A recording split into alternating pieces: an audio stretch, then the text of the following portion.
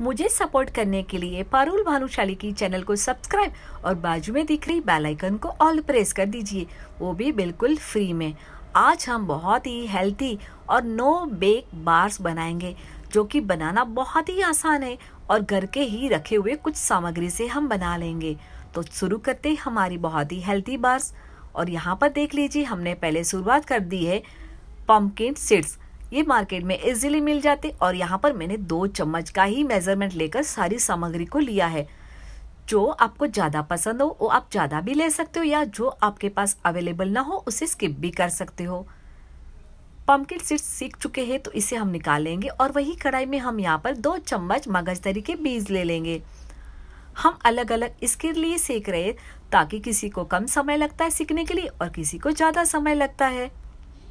तो इस तरह से एक एक करके हम सारे नट्स और सीड्स को सेक लेंगे, ताकि इसमें एक अच्छा सा क्रंचीपन मिल जाता है। ये सारे नट्स और सीड्स के बेनिफिट्स तो हम सभी को पता ही है।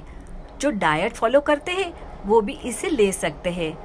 हम ये बच्चों को भी टिफ़िन बॉक्स में दे सकते हैं। यहाँ पर मैंने बादाम को इस तरह से लच्छे में कट करके लिया है। और साथ में यहाँ पर अभी हमने अखरोट भी ले लिया है। अखरोट को हमें थोड़ा सा ही सेकना होता है। ज़्यादा नहीं सेकना है। अखरोट के साथ ही मैंने यहाँ पर नारियल का बुरा ले लिया। आप चाहे तो नारियल का लच्छा भी ले सकते हो। और यहाँ पर मैंने एक सीक्रेट इंग्रेडिएंट्स ले लिया। एक कटोरी के जितना लाल पोहा। आप यहाँ पर सफ़ेद पोहा भी ले सकते हो या तो फिर ओट्स भी ले सकते हो।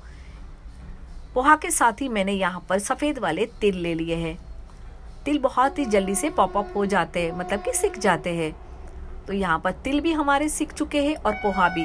तो हम इसे हाथों से तोड़ रहे हैं तो ये पता चल रहा है कि आराम से टूट रहे तो सिक कर थोड़े ठंडे हो जाए, उसके बाद ही हमें इसका आगे की प्रोसेस करनी है। सारी सामग्री जितनी हुई है, उतना आधा हम यहाँ पर मीठा लेंगे। मतलब कि सारी सामग्री मेरे पास तीन कटोरी हुई है तो एक कटोरी से कम मैंने गुड़ लिया है और वन फोर्थ कटोरी के जितना मैंने यहाँ पर शहद लिया है, जिसे हम मध भी कहते हैं। आप चाहे तो पूरा गुड़ भी ले सकते हो। अब यहाँ पर धीमी आँच पर हमें गुड़ को पिघलाना है। हमें यहाँ पर पानी नहीं लेना है। हम इसमें पानी लेंगे तो इसकी सेल्फ लाइफ कम हो जाएगी। तो गुड़ और शहद अच्छे से पिघल रहा है, उसी वक्त हमें आधा चम्मच देसी घी ले लेना है। आप चाहे तो यहाँ पर बटर भी ले सकते हो और एक पिंच के जितना मैंने यहाँ पर हिमालय पिंक सॉल्ट ले लिया है। अब ये सारी सामग्री को दो तीन बबल्स आ जाए, उतना हमें गर्म करना है। आप देसी गुड़ के बदले में नॉर्मल गुड़ भी ले सकते हो। अब ये सामग्री को हम इसमें ऐड करते जाएँगे और अच्छे से मिक्स करते रहेंगे। दो से तीन मिनट तक सारी सामग्री को गुड़ और शहद के साथ मिक्स करना है। पोहा तो हम सभी के घरों में होता है तो आप पोहा का आराम से इसमें इस्तेमाल कर सकते हो। आप चाहे तो इसमें थोड़ा सा कॉर्नफ्लेक्स का भी इस्तेमाल कर सकते हो। अब यहाँ पर ये सामग्री हमारी तैयार है तो एक प्लेट के ऊपर मैंने थोड़ा सा घी से ग्रीस कर दिया। इसके ऊपर हम ये सामग्री को फैला देंगे।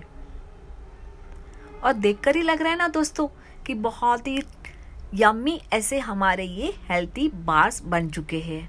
और सच में बहुत ही टेस्टी भी लगते हैं, क्योंकि सारे नट्स को जो हमने सेक कर लिया है ना उसकी वजह से बहुत ही अच्छी सी इसमें खुशबू भी आती है और एक क्रंच भी मिल जाता है। और इसे हम इस तरह से स्पैचुला से सेप कर देंगे मतलब कि अच्छी सी फिनिशिंग कर देंगे। और इसे दो घंटे के लिए साइड में रख देंगे, उसके बाद हम इसके मन चाहे पीसीस कट करेंगे।